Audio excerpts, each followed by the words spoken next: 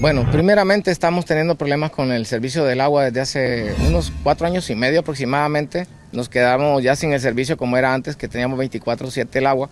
Y salió un grupo eh, para tratar de recepcionar lo que serían los cobros eh, de una forma ilegal. ¿verdad? Porque literalmente ellos no están autorizados ni tienen todo, ni, ni siquiera Intermal les ha cedido a ellos el, el proyecto del agua y están realizando los cobros de una manera abrupta, o sea, intimidando personas. Tenemos pruebas de las intimidaciones que he sufrido yo y otro grupo de vecinos también, donde llegan con un grupo de, de personas a visitar las casas, ¿verdad? Que, que, dicen ellos que estamos morosos porque no queremos pagar. No, sí queremos pagar, pero de, de una forma decente. Que haya una pauta, que uno pueda tener tranquilidad de que ellos están haciendo las cosas bien. No interponiéndose, porque eso en el artículo 245 y 246 del Código Penal es un delito. No pueden cobrar de una manera obligando a la persona, ni intimidando a la persona, porque para eso hay un, hay un sistema legal que le dice a uno cuántos años de cárcel tocan. ¿no? El servicio del agua potable es un derecho humano. Es un derecho a la vida. Sí. Es Ahora, un derecho a la vida. Cuéntenos, ¿qué tipo de amenazas ha recibido usted? Bueno, expusieron mi casa en redes sociales. Eh, salió un video de mi casa. Hemos estado viendo en, el mismo, en la misma vez que llegaron, llega un señor con un machete a la casa, en la parte de atrás de mi casa, que dicen que esa es una zona, una zona libre, que es una zona municipal, la parte de atrás de mi casa, donde colinda mi ventana. Increíble, o sea, llegan con un machete, cortan, dañan mi propiedad, dañan los tubos de mi casa. Y eso lo vamos a detener. Bueno, por acá también, doña aquí personas que están aquí en, la, en los castaños, cuéntenos, ¿cuáles, ¿cuáles son de los problemas que vienen dando con usted? Eh, bueno, para empezar, Rogelio, pues el mismo problema, nos están cortando el agua eh, con formas de amenaza porque andan con machete. Como le puedo decir, yo ando evidencias, yo ando evidencias que yo las puedo demostrar, donde andan con machete, cortándome los tubos, haciéndome daño ya personal en mi casa. Ellos dicen que porque es por detrás de mi casa que está la, tu, la tubería. Si así me entregó a mí la empresa la, la tubería de, de, agua por un pasillo. Entonces yo digo, yo pago, pero aquí no están dando un servicio con los dineros que están recaudando. ¿Le están dando recibo al momento que ustedes pagan? No. Ellos solo es que andan amedientando con machete, usted va a ir a pagar o si no, mandan una persona por la casa, va a cobrar ella y no, no está dando recibos que es mi vecina. ¿Cuánto están pagando por el servicio de agua? Eh, 300 lempiras, están cobrando tren de aseo y agua potable, pero esos basureros no se miran, están llenos de basura.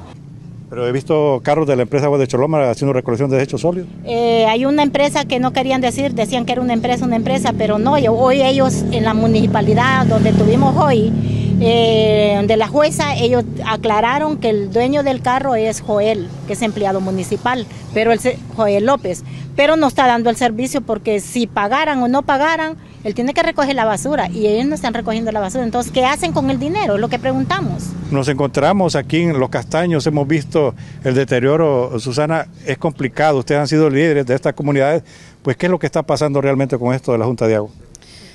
Pues bueno, gracias por la entrevista, Rogelio. Es lamentable lo que vivimos. Creo que los huracanes Z y Ota pues nos dejaron desgracias, ¿verdad? Entre ellas pues esta desunión que tenemos como comunidad. Yo creo que aquí deberíamos de trabajar totalmente unidos, siempre y cuando las cosas sean transparentes, ¿verdad? Sabemos que hay grupos de vecinos que cuentan con liderazgos y que de repente quieren aportar. El problema es cómo lo hacemos, ¿verdad? Eh, la Junta de Agua desconozco de la manera que ellos se se forman, ¿verdad? Porque hasta donde yo tengo entendido, las juntas de agua deben ser elegidas, ¿verdad? Por una comunidad. Desconozco eso porque jamás fui invitada a una asamblea para poder elegir quién me representara en una junta de agua. Sabemos que tenemos un problema, que las empresas, pues responsables de la comunidad, ya no quieren hacerse cargo, ¿verdad? De, de, de las funciones del agua potable porque pues ellos alegan, ¿verdad? De que esta colonia no les paga una mensualidad debido a las denuncias interpuestas en la Fiscalía de Protección al Consumidor, ¿verdad? Entonces, debido a eso, pues ha venido la ENE, ha cortado lo que es la energía y nos hemos quedado sin agua potable. Y él me dice que de ninguna manera él los ha mandado. Le digo yo, abogado, los voy a denunciar. Muy de acuerdo, denúncielos, me dicen cada uno de los mensajes que él me manda, porque yo le escribo a él cuando ellos me dicen, me manda el abogado Diezcua.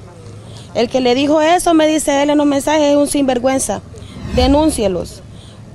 dice, los sinvergüenzas que manejan el agua deben responder por sus actos y no meterme a mí. Denúncielos. En todos los mensajes que él me manda me dice lo mismo.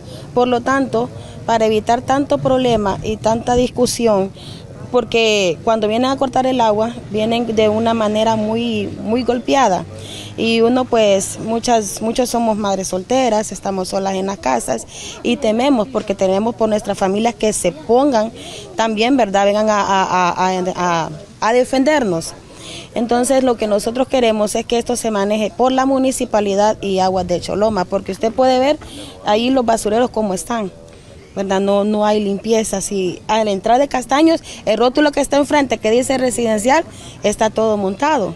Amigo, es preocupante la situación de Castaños, eh, el problema del servicio de agua potable, la recolección de desechos sólidos, la misma limpieza de esta colonia. Ok, eh, lo que más nos tiene preocupados es de que a lo mejor la Junta de Agua que tomó el poder eh, no tiene un conocimiento en sí de tuberías, no tiene un mantenimiento esencial hacia el tanque como antes se hacía. No han dado un mantenimiento también a lo que es el pasto, lo que es toda esa maleza, que por medio de eso se reproduce mucho zancudo. Entonces es lamentable también, como le vuelvo a repetir, eh, de que ellos no estén dando un servicio como es. Aparte, volvemos y recalcamos de que ellos llegan a cortar el agua, llegan muchas personas y llegan prácticamente intimidándolo a uno. ¿Usted estaría también de acuerdo que este proyecto pasara a, manos de Agua de Choloma? Pues la verdad que todos estamos de acuerdo a que pase a la municipalidad porque creo que es conveniente, ¿va? porque a mí cuando me entregaron mi casa hace años en el contrato y el vendedor de las casas me dijo, su contrato es a 26 años para pagar a 26 años. Es un contrato de arrendamiento con opción, a compra. Allí mismo me, le viene incluida el agua. Usted durante esté pagando su casa, el agua, el servicio de agua potable lo tendrá. Ajá, y después de que pasó lo que pasó, no nos cumplieron con, con el seguro que venía a las casas. Pasamos un tiempo sin agua, pues esta gente dice que se hizo cargo del agua pero no están haciendo las cosas correctamente. Si ellos no tienen ni, ni, la personería jurídica primero para andar cortando el agua, otra no llegan de buenas maneras. Ellos alegan que la tubería de la casa no le pertenece a nuestras casas y sí le pertenece, porque para eso está ese pasillo de servidumbre en el cual el, la tubería va pegada a la casa de nosotros. Si la tubería no fuera pegada a la casa de nosotros, entonces no nos perteneciera, pero sí nos pertenece. Es un servicio que nos proporcionaron desde principio. Está en el área de construcción de, de, su casa. Es correcto, está dentro, prácticamente casi está dentro. Lo único que está por la parte de afuera de la casa